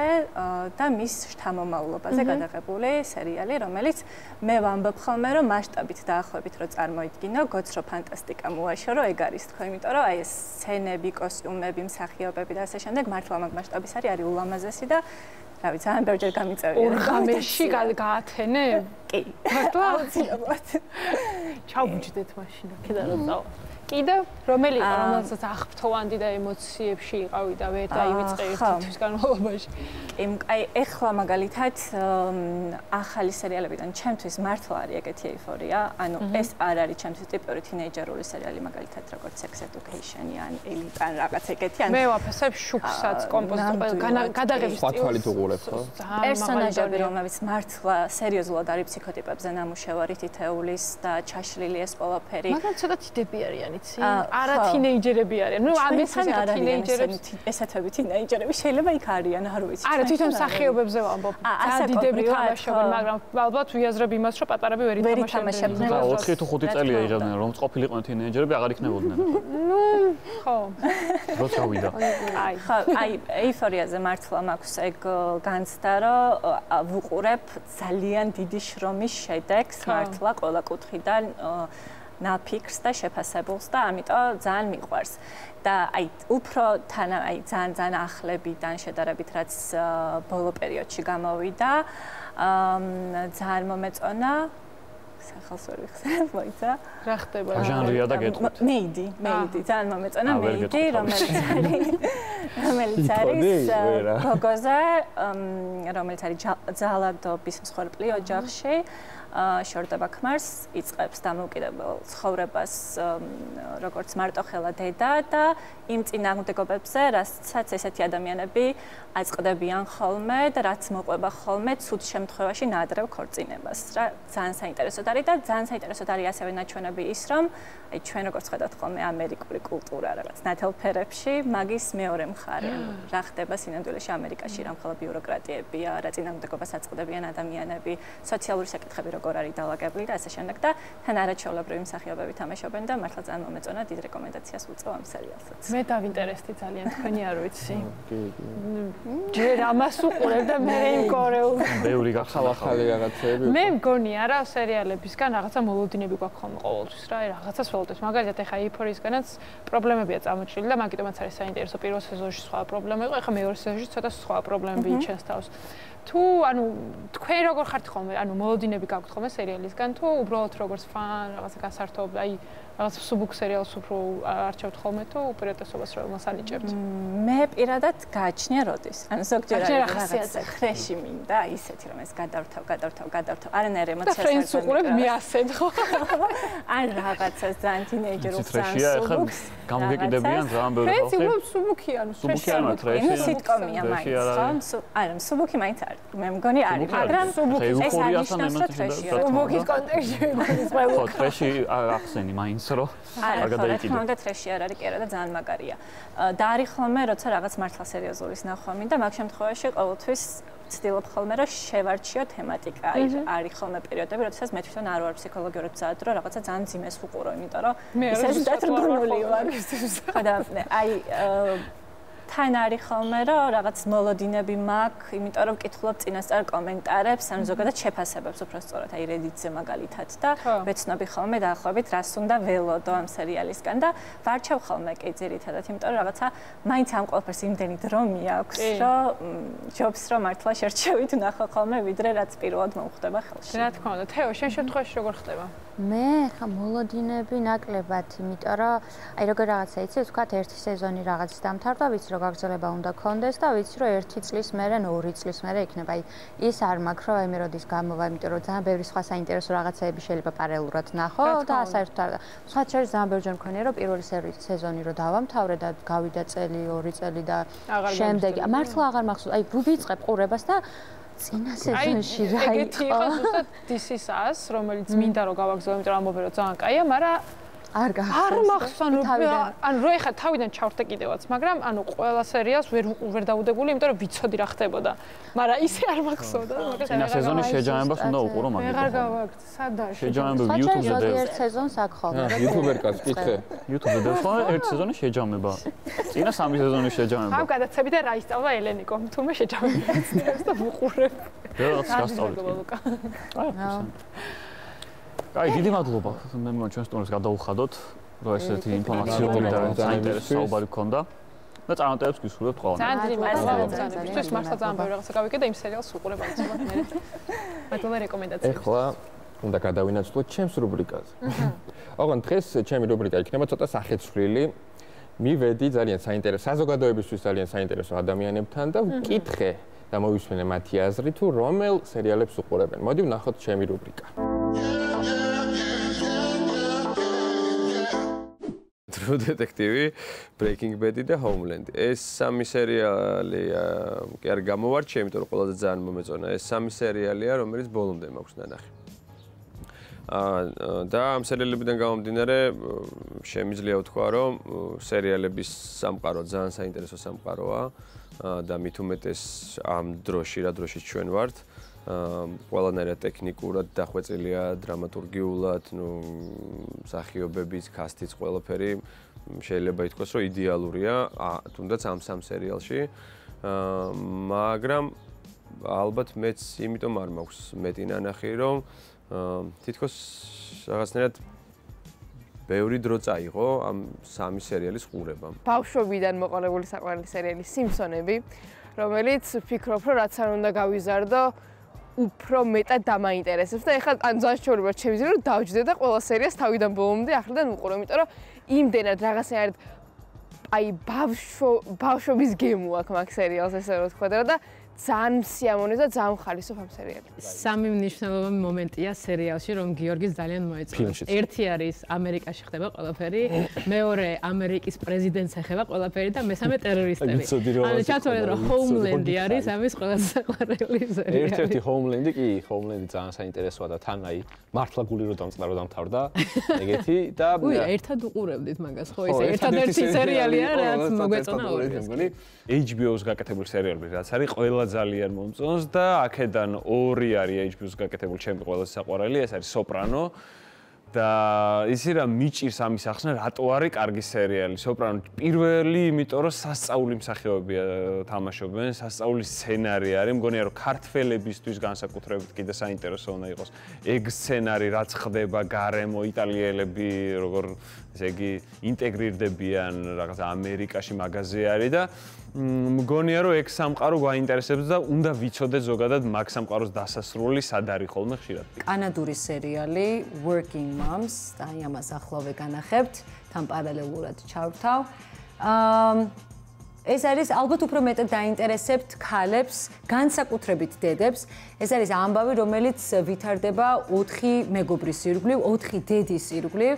ისინი რადიკალურად განსხვავდებიან ერთმანეთისგან, რადიკალურად განსხვავებული პიროვნებები არიან თავიანთი სიყვარულის ისტორიით, რაღაცა კარიერა, პრობლემები, გამოწვევები და საინტერესო როგორ ამხნევებენ ისინი ერთმანეთს. Girlfriend experience ქვია, ოღონდ ქართულად რო თარგმნო, ალბათ ავწდები თარგმანს, იმიტომ რომ აზრობრივადაც ცოტა უცნაურად ქვია მაგ სერიალს ეგ სახელი. ოღონდ პირველი სეზონი. შემდეგი სეზონი მე თვითონაც ვუღალატე, იმიტომ რომ პერსონაჟებიც რაღაცნაირად იცვლებიან და პირველი სეზონი არის ერთ-ერთი ანუ ამ სერიალის პირველი სეზონია ერთ-ერთი ყველაზე თუ არა, ნუ ხო, მართლა ერთ-ერთი ყველაზე დამთრგუნველი რაც მინახავს, თან ძალიან ძაფრიარი და ძალიან უცნაური აა უცნაურ შეგრძნებებს, რაღაც აღრეულ შეგრძნებებს ბადებს, იმიტომ რომ ისეთ პროცესებთან აქვს შეხება ამ გოგოს, რომ რა თქმა უნდა შეიძლება გინდა რომ ამისგან განყენებული იყო, მაგრამ თან რაღაცნაირად მაინც თანაუგრძნობ და რაც უცნაურია. იმიტომ რომ არაფერს კარგს არ აკეთებს მოკლედ. ამ სერიალს ქვია You, ეს არის რადიკალურად განსხვავებული ჟანრის ფსიქოლოგიური თრილერი. მე დიდად არ მიყვარს ეს ჟანრი, მაგრამ იმდენად ჩამთრევია. აა ეს სხვადასხვა არის გადაღებული ამერიკელი ცნობილი მწერლის Caroline Kepnes-ის ნოველის მიხედვით, რომელიც იმავე სახელწოდებას ატარებს You, ანუ შენ.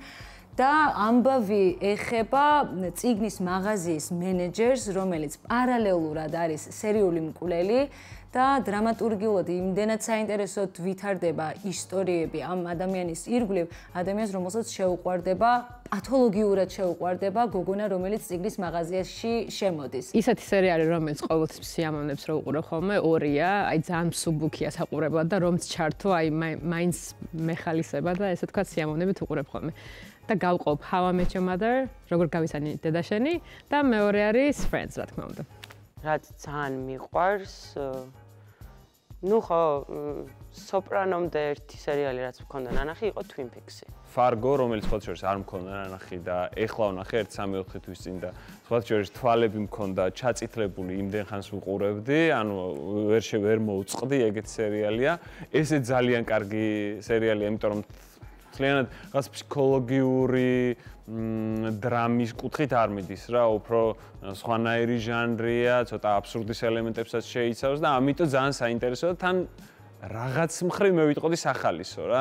გარემო არის კიდე ძალიან ისეთი, რომ აი ძალიან მოგწონს. Fargo. Hellbound. არის კორეული სერიალი და აი მართლა გამ ამოატრიალა ჩემი სამყარო, ძალიან საინტერესო იყო მართლა. მეორე სერიალი ვიტყოდი ალესილ კეპებს. რომელმაც დამაინტერესა, იმიტომ რომ არა იმიტომ რომ ჩემი საყვარელი მსახიობები, ნუ პროფესიონალური მსახიობები თამაშობენ, არამედ იმიტომ რომ ვფიქრობ რომ ამ სერიალი, ანუ ეს სერიალი გადმოცემს იმ დროინდელ დროს, რაც აღწერილი არის სერიალში და ნუ, ანუ ყველაფერი არის ერთად გაერთიანებული. ცხელი ძაღლი ხა სხვას ელოდით რამე ეს ანუ ხადავს არ ვაკეთებ. და რატო გიორგი, რატო გიყვარს ეს სერიალი? ანუ რა ვიცი, დღევანდელობას ერგება ძალიან პირველ რიგში. კი, ბევრი რაღაცა. 90-იანების სერიალი. და პლუს ისტორიის ესე ვთქვათ, კარგად გაგების საშუალებაა თვალსაჩინოთ მაგით თო ჩავრთე რა, იმიტომ რომ ნანახი არ მქონდა, როცა გადიოდა მაგის მერე და რო ჩავრთე, მეთქი, ვაუ, ვერ მოუწყდი. სოპრანოს კლანი, იმიტომ რომ ეგ იყო, ეგ ფილმი, ეგ სერიალი ნახე იმ პერიოდში, როდესაც ნუ ინტერნეტთან რაღაცა ინტერნეტი ხელმისაწვდომი დიდად არ იყო, იყო გადიოდა ტელევიზიით. და ნუ თავისთავად ახლა ყველა სერია არ მაქვს ნანახი, იმიტომ რომ ხან მაგ პერიოდში და შუქიც არ იყო ხოლმე. ხან დრო არ იყო, მაგრამ რაც მაქვს ნანახი, ანუ პირველი რაღაცნაირი ჩემს ხოვრებაში ესეთი ის იყო რა, შოკი იყო იმ რაღაცა საპნის ოპერების შემდეგ, რაც რასაც მიჩვეული ვიყავით. ემილი პარიზში, ძალიან სახალისო სერიალი. რომელიც რა ვიცი, ანუ ანუ გავგიჟდი გადავიღეს, ვერ ვიტყვი, მაგრამ სახალისოა რაღაცა დროის გაყვანა, ვინც ეხლა ისეთი დრო არის, რომ каранტინი, კორონა ყოველას ესე ვთქვათ, გვიწევს ამ პერიოდის გავლა და ვურჩევ, რომ რაღაცნაირად უყურონ და ცოტა გაერთონ და დრო გაიყვანონ, ესე ვთქვათ. ვაიერი, რაც არის აი დაუჯერებელი ადამიანების შექმნილი, რაღაც მგონია რომ ღმერთები ქმნიდნენ ამ სერიალს. ისევ ვიტყვი რომ ეს არის სცენარი სერიალში არის ძალიან მნიშვნელოვანი. ანუ ამბები რაც ხდება.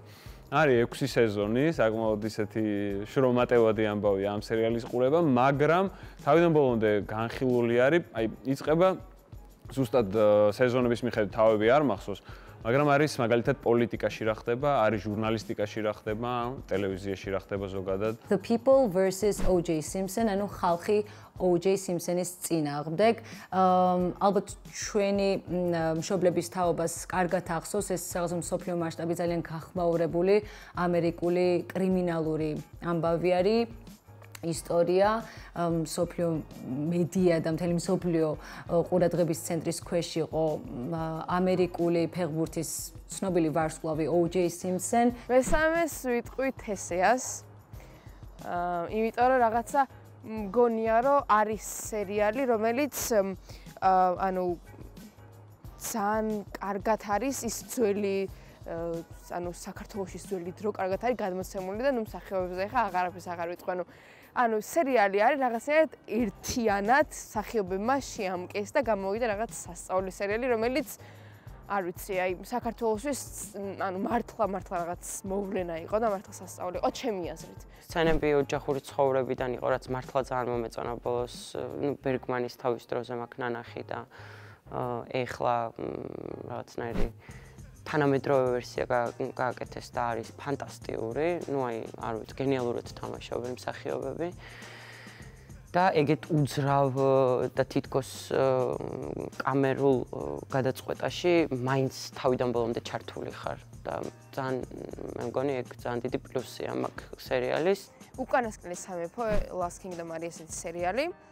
რომელმაც დამაინტერესა, იმიტომ რომ GDS-ზე ანუ ქონდა ძალიან კარგი, ანუ ძალიან კარგი რეკლამა ქონდა და რაღაც მეგონა რომ სამეფო კარის თამაშოზე უკეთესი იქნებოდა და ჩართე ეს რეალი და ანუ არ მომეწონა ვერ ვიტყვი ვისთვის როგორ კიდევ ერთხელ ამბობ, უბრალოდ რაღაცნაირად ერთი და იგივე მეორდებოდა, ერთი და იგივე რაღაც ბრძოლები, ქვეყნის დასაბრუნებლად ტახტის და ანუ ეგეთი რაღაცები, ანუ არ მომწონს. ცოტა მეტი რაღაცა უნდა შეძინონ სერიალს, რომ უფრო საინტერესო გახადოს. ეს ჩემთვის ეს ჩემი აზრი არის სერიალთან დაკავშირებით. მე უცნაური რაღაცა მჯერს, რამეს რო ვუყურებ, რო არ მომწონს, მაინც უყურებ ხოლმე.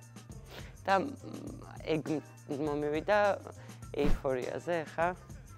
არ მომწონს, მაგრამ მაინც ვაგრძელებ. შინელება მოხდება, ალბათ ახლა ყველა დაიწყებს იმას, რომ აი როგორ არ მოეწონა ეს სერიალი და ისტერიკაში ჩავარდა, მაგრამ არ მომეწონა ეს ლაზიერის გამბიტი.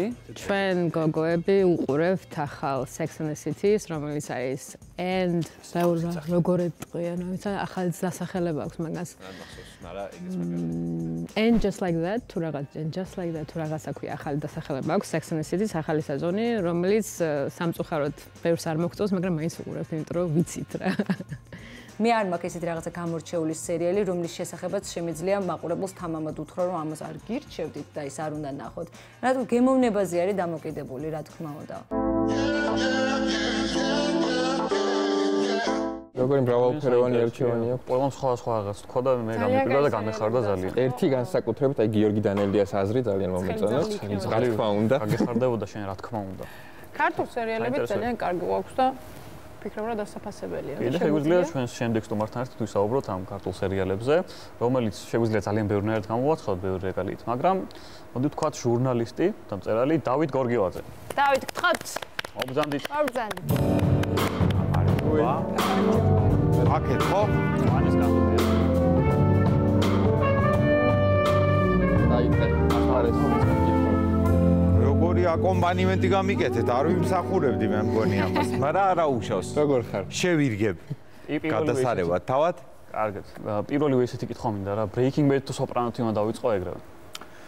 აა მე ვარ ადამიანი, ვინც აფასებს სცენარის, ანუ დრამატურგიულ განვითარებას, ამიტომაც მაგხრივ Soprano ხადია, მაგრამ თუ მკითხავთ, რომელს უფრო უყურებდი ხელმეორედ, ხელმეათეთ უფრო სწორად, ეს იქნება Breaking Bad, მაგრამ Soprano. ხელმეათეთ გააქნა ნახი თუ აა Soprano მაქვს ნახი რამდენჯერმე და Breaking Bad-ი ასევე. და ბარემ ფავორიტი სერიალები top 3 როგორ? top 3 სერიალი როგორ? და რატომ არის თქვენი top 3 X3 სერიალი? აა ორი უკვე ახსენეთ და მესამე ეს არის Six Feet. მესამე გახლავთ Six Feet Under, რომელიც არის ჩემი ყველაზე საყვარელი სერიალი, მიუხედავად იმისა, რომ არ არის პოპულარული მაინდა-მაინც. და მიზეზი? რატომ მოგწონთ? რა შტაბეჭლებები მოახდინა? იმიტომ რომ დასასრული აქვს ისეთი, რომელზეც აი ყველა ჯერზე როცა ვუყურებ ტირი ცხარეც რემლით. ძალიან კაია. ხო, ეჭვი არ მეპარება. მართლა ძალიან კარგია. არ გააქვთ ნახე? არა. არა, არც მე. მე მოსმენელი მაქვს თქვენი ინტერვიუ ერთ-ერთი, სადაც ამბობთ, რომ ფილმებზე ტირით ხოლმე. და ამ სერიალებზეც ესეა, გააქვთ სერიალები, რომელზეც ისეთი ემოციურია, რომ ტირით ხოლმე. ემოციური მომენტები, ბევრ სერიალს აქვს ჩემო ლუკა. ემოციური არის ამბავი, როცა თუ ამბავი გეხება, ცხადია თუ კარგად არის დაწერილი, განხორციელებული, ცხადია რომ რაღაც ემოციას იწვევს შენში. კი, Feet Under იწვევს შენში ემოციას ყველა ჯერზე. ეხლა მე და მithmet ასპარეზი. ქართულ სერიალებზე მაგარი. ქართულ სერიალებზე რა თქმა უნდა. მიუწვევს. და არა ერთხელ და არა მეათეჯერ და და ბევრჯერაც გაქვს ნანახი როგორც ხვდები ჩვენი საყვარელი ცხელი ძაღლი. დღეს რა ხდება ქართულ სერიალებში და რატო არის გამორჩეული შენი აზრით ცხელი ძაღლი? ცხელი ძაღლი არის გამორჩეული რამდენიმე მიზეზის გამო, მათ შორის არის ადამიანები, ვინც წერდნენ ცხელ ძაღლს, ესენი არიან ნუგზარ შატაიძე და კოტე ჯანდიერი, ადამიანი, ვინც იღებდა ამ ყველაფერს ეს არის საზა ურუშაძე და რა თქმა უნდა სამსახიობო დასი. მე მგონია რომ ნუგზარ შატაიძეს და კოტე ჯანდიერს ერთ შემთხვევაში ბატონი ნუგზარი გარდაიცვალა. კი ბატონო. აა და ბატონი კოტე ჩვენი თანამშრომელია. აა ძალიან კარგად ესმით აა რა როგორ განვითარდა მოვლენები 90-იანების ბოლოს და 2000-იანების დასაწყისში. და არის შეუდარებლად კარგი სცენარი. ძალიან მაგარი, ძალიან მაგარი სცენარია, იმიტომ რომ ზუსტად იციან რა ხდებოდა, როგორ ხდებოდა, რატომ ხდებოდა და როგორ შეიძლებოდა რომ ამ ყველაფერს ხორცი შეესხა დრამატურგიული თვალსაზრისით. აა და ნუ რო არაფერი ვთქვათ, ჟანრი ლოლაშვილის არც კი ვიცი რა. ბენეფისი შეიძლება დავარქვა სერიალში მისი? არც ვიცი რა დავარქვა, იმიტომ რომ ნუ ზეპირატიც, შენ ვიცი რომ ზეპირატ, თქვენ ზეპირატ იცით ხო მთელი სერიალი? ვიღაცებს კონკურენციას გაუწევთ. კი ბატონო. არ უნდა თამათ საუბარი გრამანდელ სერიალებში. ცხელი ძაღლი, გვერდი, გვერდი გადავდოთ, იმიტომ რომ ჯენზის არ ამგონია ცხელი ძაღლი. Ну მეჭო რა რა გონია კაცო იმდენი ხალხი რა კონდეს. მაინტერესებს ყოველ შემთხვევაში კარი ჯეიზის აქვს თუ არ ნანახით ხელი ძაღლი იმდენად არა. რამდენად ეხლა ახალ სერიალებში და მაინტერესებს ჯენზის თემატიკაში რომელი სერიალი პასუხობს ყველაზე მეტად მათ ასაკს ინტერესებს ხასიათს თქვენი აზრით რა თქმა უნდა. წარმოდგენა არ მაქვს მაგ კითხვაზე ვერ გიპასუხებ იმიტომ რომ ზეთაობა მართალი გითხრათ არ ვიცი ამ თაობას ზუსტად რა ინტერესებს. ვიცი Z თაობა რაც არის, მაგრამ არ ვიცი აა რა კითხვები აქვთ. აჰა. ვიცი ჩემ თაობას რა კითხვები აქვს, მაგრამ და დაახლოებით შემიძლია მის განსაზღვრა აა რა კითხვებს უნდა გასცეს პასუხი ხელოვნებამ მათი ინტერესების დასაკმაყოფილებლად, მაგრამ Z თაობას არ ვიცი რა კითხვები აქვს. თქვენ ხარ ზეთაობა. კი. ნუ ახლა თითქმის არის. ვიცხლები. ეს გასაყარზეა შეიძლება ითქვას. გზაჯვარედინზე. რა კითხვები გაქვს? კითხვები ესე ზოგადად ხელოვნებამ ხო რაღაც კითხვებს პასუხი უნდა გასცეს და თქვენ რა კითხვები გაქვთ მე არ ვიცი. ну კარგი ის არის რომ ტენდენციებიდან გამომდინარე ალბათ აინტერესებთ ყველაფერი რაც მათ ცხოვრებაში ხდება ეს თინეიჯერული დრამები ყოველთვის აინტერესა მაგით მათთვის იმიტომ რომ ეს არის პოპულარული თინეიჯერული დრამები რა არის არ ვიცი ну აი ეუფორია თუ ეიფორია ახსენებს ბევრჯერ და ეიფორია ბევრჯერ ახსენებს. რა ხდება? მაგრამ ეიფორიაში პირველი პირველი სეზონი არის ისევ დაუბრუნდები ასე ვთქვათ. და ეს ბლაჟენი სახით რა ხდება? რა ხდება?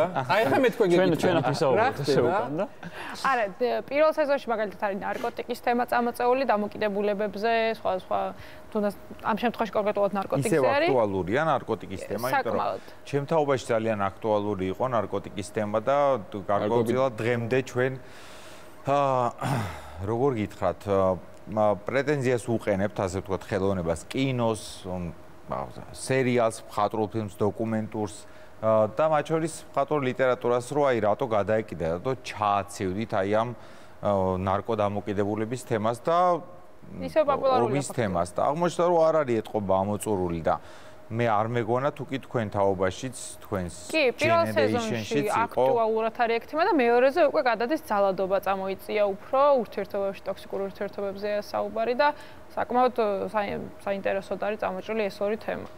ძალადობა მესმის მაგრამ ნუ ნარკოტიკი აღარ უნდა იყოს თქვენთან აქტუალური ნარკოტიკებით სავსე ტრეილერი გასაგებია, მაგრამ გივინც კირველის მიერ დაკავებული. იცი რა მინდა კითხო, სერიალის თვალსაზრისით და სცენარის თვალსაზრისით, ყავადალთან როგორ დამოკიდებულება აქვს და რამდენად ქართულებზე? არ მომწონს. ყავა და ლუდი მაქვს ცხადიან ანახი. სამსახიობო შესრულება არის ძალიან კარგი. მე თუ მკითხავ არ ისეთი სამეულია. კი კი კი. ანუ კარგია ძალიან კარგია მაგრამ შინაარსობრივი თვალსაზრისით ალბათ ალბათ როგორ არის იცი? როგორ Star Wars-ის და Star Trek-ის მოყვარულები იყოფიან. ორად ისე იყოფა ეს ყველაფერიც და მე ყოველთვის ცხელი ძაღლის მოყვარული ვიყავი და ამიტომაც განწირული ვარ იმისთვის, რომ ყავადალუდი არ მომწონდეს. აა შინაარსობრივი თვალსაზრისით. შეიძლება მიფიქრია სცენარის თვალსაზრისით, აი ამერიკაში რო გადაიღოთ ცხელი ძაღლის სცენარით იქაურ რეალობაზე მორგებული, აი დღემდე რო აი როგორც გაქცევა ახსოვთ, ხო იცი? მუდამ. აი ესეთ დიდ კვალს დატოვებდა თქო ამერიკა. კარგი იქნებოდა, მაგრამ ვერ ხვდები ახლა ლექსონი ჯერაძე ხო ამერიკიდან ჩამოდის ჩვენთან და საიდან ჩავიდო და საქართველოსთან რო ქართულ თემაზე არის მორგებული ეგ უფრო არა კი რა თქმა უნდა ეგ თქვი ზუსტად რომ ამერიკულ თემას რომ მოერგოს. სხვა შეიძლება ეგ ძალიან დიდი პლუსია სცენარისტების რომ ეს იყო მომენტი როდესაც საქართველოსში რაღაც რაღაცები აღწევდა ამერიკის შეერთებული შტატები ზოგადად დასავლეთიდან ხო? და ის რომ ახალი ტიპი შემოდის უცნობი გარემო, ერთი შეხედვით უცნობი გარემოდან და რაღაც ახალი უნდა შემოიტანოს და ამ ყველაფერს ახლავს აქ მყოფების პროტესტი, აგრესია იმის თაობაზე, რომ აი რა უნდა მასწავლოს. ეს ტიპიური ქართული მენტალიტეტი კიდე. ძალიან კარგია.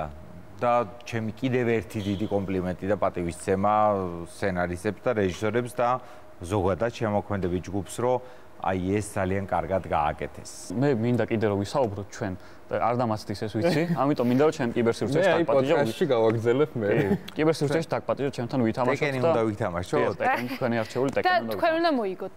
რა თქმა უნდა. იმიტომ რომ ლუკას უაგებს და თქვენც ეს ტრადიცია უნდა გააგრძელოთ. ვის ირჩევთ? აი მობძანდით. თქვენ ედი აირჩიეთ რა. ედი ესე ვქნა? ხო, ედი მე უნდა. ყველაფერს რო ეჭი. მობძანდით. სიამოვნებით მე ცოტა მუხლი მткиვა და ცოტა ნელავიული, მაგრამ ლუკა, შენ ედი არა ირჩიო. აბა ვინ აირჩიო? ედი უნდა ირჩიო. იოშიმიცუ. იოში, იოშიმიცუ თქვენ აირჩიეთ. ძალიან დიდი მადლობა რომ ხარ ჩემი რუბრიკის სტუმარი დღეს. მადლობა რომ გამახსენე ღმერთო ჩემო. ნუ ესა ცოტა ახალი ტეკენია, მაგრამ ჩვენის გვიყვარს ტეკენსა. ო არ ვიცი ეს რა ტეკენია, მაგრამ კაი ვიჩხუბოთ. ვიჩხუბოთ. თუ ძალიან გინდა ვიჩხუბოთ. არა, თამაში შეიძლება. თამაში თორე ისე აბა. გიყვარს ტეკენი, ანუ ბავშვობის ის ნოსტალგია თუ? გიждდებოდი კი.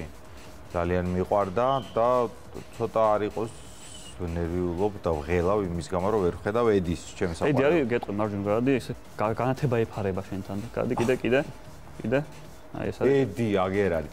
ედი უნდა აიღო? აა მოდი ესე ვქნათ ედის თუ ავიღებ უპირატესობა მექნება და გვინდა ედი? ხო და ედი აიღოთ არც ერთმა თქო მაგას. მოდი ეიჰაჩის ავიღებ იმიტომ რომ ეს არის შემქმნელი ტეკენის და მოხუცია. და მე მოხუცი ვარ შენგან განსხვავებით. ეგრე შევერკინოთ. ვაუ, ვაუ, ვარ მე. არა, არა, არა, არა, არა. მოიცოდე ხა. რატო? მცე მე. შენ მითხარი რა ვი, კინგი? არა, ეგრე არ გეტყვი. კინგი. კინგი, მე ხო არა ვიღო კინგი. აა კაი, ეს არ ვიღე. მე ჰაჩი ვიქნები, შენ ედი არა იყო, ვიც გინდა ის იყავი. ვაუ. ედი და ლაუ არა, კაი, ხეგები. კინგი, კარგი. კინგი და დავიწყოთ. დავცხოთ. აა აჰა, რაპატიეთ. ო, რა შეცვალო? ანახე. რაღაცა კნოპკები შეცვალა. არი? კი. აჰა. ჰეიჰაჩ სიმედზე ვარ. ჰეიჰაჩი ძალიან კარგი პერსონაჟია. იქს დააჭირა? შემქმნელია, ხო იცი ჰეიჰაჩი ტეკენის? ან ისტორია რაც არის. ხო. ეგრე იყო. კარგი, პირველი კითხვა მინდა დავიწყო იმით, შენი საავტორო გადაცემა ძალიან მომწონს, ძალიან კარგი გადაცემაა და საიდან წამოვიდა იდეა და სახელი რატო ქვია, რაც ქვია? მილან კუნდერა იცი? არა, როგორ როგორ მოგატყუო? მილან კუნდერას რო გაიგებ, მე მივხვდები საიდან წამოვიდა გადაცემა. მას აქვს ესეთი რომანი ყოფიერების აუტანელი სიმ ან ყოფის აუტანელი სიმსუბუქე და იქიდან მოდის. ეხ გინდა რომ თან კითხვები დამისვა თან ცემო? თან და არავითარ საუბრობ, რა თქმა უნდა. ჩემი მისია აქ ეგაა რომ გავართო რესპონდენტი და თავი შეგცევა? ყველა რესპონდენტი რა არის? ხა მაინც ვაგებ ხა ყველასთან. რა გები ისეთი დამარტყი მართო ჩემო რომ გული შემიწუხდა რა წესი. ანუ არ შეიძლება ეხა ერთ წამს მოიცადე. კაი გაგაცდი გაიხსენე ეგ ხო ის არის ხომ? მოიცა ხო გავიხსენე წამს ერთ წამი. კარგი ინტერვიუები როგორი უნდა იყოს შენც ეგეთ გადაცემა გაქვს? კითხებს უსვამ. რესპონდენტი არა. ჩემნაირი არა. ესე რო გაგაკეთე. აი ასეთი უნდა იყოს კაი ინტერვიუები, შეხედე როგორ მიგაძინე. როგორი უნდა იყოს? რა არის აუცილებელი შენიანი? აი, აი, არ შეიძლება ესე. ანუ სტუმარი რომ მოვა შეიძლება რომ ესეც ემო ღმერთო ჩემ. ყველა მომიგო რა ვიცი და გადავაგდო ეხა ეშვიდიკი. არა, ერთით ნუ. რატო გამლახე ესე? განაის დავიმსახურე მე? მოიცა, მოიცა, მოიცა, მოიცა, არ შეიძლება ესე. რა ვეღარ გისვენ კითხებს არ პასუხობ რა. რა ცემ და რა კითხვა დამისო. გაცემინო მაინდა მაინც რომ ცოტა ხანს მაცემინე თავი ერთ წამ. აჰა, აი. ოპა! აი სერიალების თემას, სერიალების თემას დაუბრუნდეთ მაშინ, მოდი. რომელია სერიალი? რა რა? ყავსანი, ყავსანი რო გადაიღოთ სერიალად. ხო. რომელი პერსონაჟი იქნებოდი შენ შენია? ავთანდილი ვიქნებოდი ყველა შემთხვევაში, იმიტომ რომ მგონია რომ ავთანდილი არის მთავარი პერსონაჟი, ამასობაში გაგლახავ შენ ჭირიმე. გაჩერდი. არა. ვიყავ. ვაიმე. ანუ მთავარი პერსონაჟი ხარ ცხოვრებაში? არა, კაც რა ის მთავარი პერსონაჟი ვარ. ანუ მთავარი პერსონაჟი მინდაო იქიდან და. ერთით ნული. მეორე გაუში ძალიან. იქ დააჭირე? რემაჩი. იგივე სხვა ხო არ გინდა სხვა ვიღაცა? ედი ხო არ გინდა? არა. არა, მოიგო უკ. არა. გადაიფიქრე. რა მთავარი არა კაც რა ის მთავარი პერსონაჟი მე არ მიყვარს. მთავარ მე მე მე მგონია რომ საერთოდ ზოგადად უკეთესია როცა მეორე ხარისხოვანი პერსონაჟი ხარ იმიტომ რომ ეხოვე დაგარტყავ ერთი წა მომასწარი? კაი, არ შეიძლება ერთ წამ, არ შეიძლება. როგორ არ შეიძლება? კაი, მიდი ჰა. არა, ცდის. არა, ვქნათ. ეხა მოვა. არ დამარტყა, არ დამარტყა. არ დამარტყა ერთ წამს. მოიცა ერთ წამს დარტყმა მინდა. მოიცა ერთ წამი. არა, არა, არა, არა, არა. ბლოგზე დგას, მე რო არაფერს არ ვაჭერ. ვიცი, ვიცი, ერთ წამს. აჰა, всё, კაი, მინდა. ბოლოკი იყო. ლუკამ რას ნიპირებ შემოგევლეო? შემოგევლე. არ შეიძლება ასაკენ ადამიანს. ედი, აუნა, ედი უნდა აგიღოთ რა. ედი უნდა აგიღოთ, მაგრამ ედი ძალიან წავაგებია. მე ედი არა ერთი წამი. ერთი წამი. კითხავს აღარ ვეკითხო. ლუკა მე მგონი იმეცადინა სახში. ერთ წამი, ოპა, აი ეს. ოპა. ოპა. აა, ნარცხაძი. პაპა იოქრო მე ვარ. ოპა. პაპა იოქრო მე ვარო. სერიალებს რო დაუბრუნდეთ. დაუბრუნდი რა. ყველაზე ეს 6 feet under თქვი წეგან. რომელიც შეიძლება ისეთ პოპულარული არ არის, ხო? აღარ არის, იმიტომ რომ 2001-ში დაიწყო, 2005-ში დამთავრდა. ხო, რომელი არის კიდე ეგეთი დაუფასებელი სერიალი შენი აზრით? ო დაუფასებელი სერიალი არის ბლანკოს ქრივი. არ ხუმრობ ოღონდ, მართლა. ბლანკოს ქრივი არის კარგი სერიალი, იმიტომ რომ ყველანაირი დრამატურგიულ მნიშვნელოვან მომენტს პასუხობს. ხდები ხო რაც რაც დაგმართე ხა? ახლა თან საუბარი თან შეგძლებია თამაში. ხო და ძალიან კარგად ძალიან კაი სერიალია კი. იმიტომ რომ თავისი არსით მესმის რო ცუდად არის ნუ მივყავ ძალიან გთხოვ. არ არის ეს. რაღაც სამბიქცია სწორად აა ისეთი რო დაუკვირდეთ იუსტინო ბრი გაჩერდი იუსტინოზე დიახ გავაგზავნოთ 13-ზე. ციურია. აა. მე მგონი მოჩ ხო სამამდე იყო ეგრევე ვიცოდი. ხო, მეოთხე. იუსტინო ბრინიონი არის კარგი პერსონაჟი ძალიან. იდუმალია. თან სიყვარული შემოდის, თან აა თან ეს რაღაც შთამომავლობის თემა, თან ეს ძველი სიყვარული, თან ამბავი და იუსტინო ბრინიონი არის ძალიან კარგი პერსონაჟი. ჩვენ ვერ დავაფასეთ თავის დროზე. ეხავე არ დამარტყა. ვერ დავაფასე. არ დამარტყა. პატივიეც ჭაღარას ხო. უ მე მიდი ერთი უნდა მომიგო. ხო მოგიგე ერთი. ნუ ეს ორი ხელი ხლება. ხედავ როგორ მოვდივარ? გაჩერდი? ხედავ. რო გეუბნებიან გაჩერდი. შენ ხომ გითხრენ? შენ ხო გითხრენ? რას ხტუნაობ, რო ხტუნაობ? რას ხტუნაობ? საიდან ხარ? კმარადან თუ თავისუფლების არა არა ერთ აი აი აი ამდენი ეს ხო არაფერში არ ჯდება ეს ესეთი ემოციური და აზარტული აზარტული ხარ ხოლმე ცხოვრებაში კი კი ნუ მივტყა მე ერთსამი რაღაც მინდა რომ გავაკეთო ერთსამი აბა მინდა რომ გავიხსენო რაღაც გთხოვ გამოგივიდეს.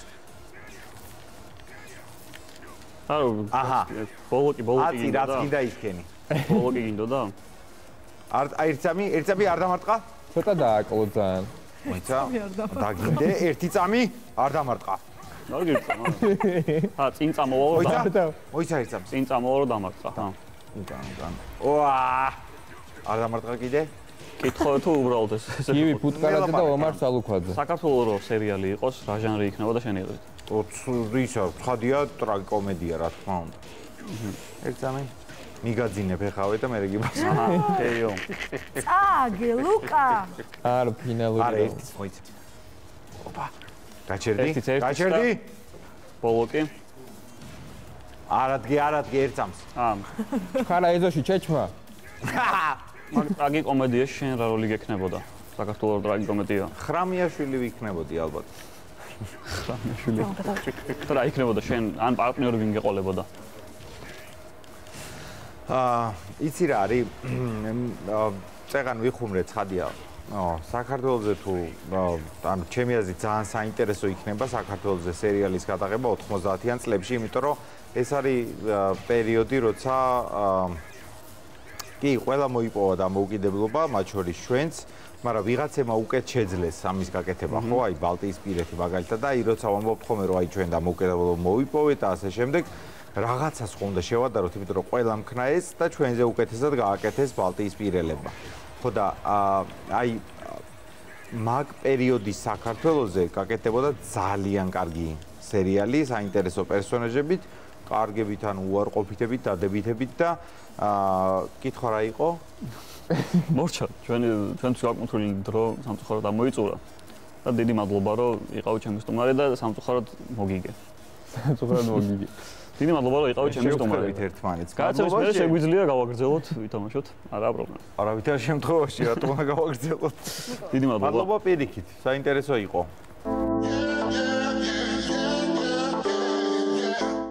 ალილუია ალილუია რა გაგიკვირდათ აღარ არის გასაკვირი აღარ არის გასაგები. მეორე მოგებული უკვე. სერია დაიწყე, რაც თავარია მოგების. დიახ, დიახ. ძალიან საინტერესო იყო დღემდე. კი, ძალიან საინტერესო და ბევრი რეკომენდაციაც მოვისმინეთ და დავგეგმე მე პირადად. მეც ვიცი უკვე რას რა სერიალებს უნდა უყურე. ეხლა კი დროა დამემშვიდობოთ ჩვენს მაყურებელს. გვიყურეთ ყოველ შაბათს 22 საათზე ტელესკოლის ეთერში. ჩვენ კი გემშვიდობებით. კარგად. ახვამდი.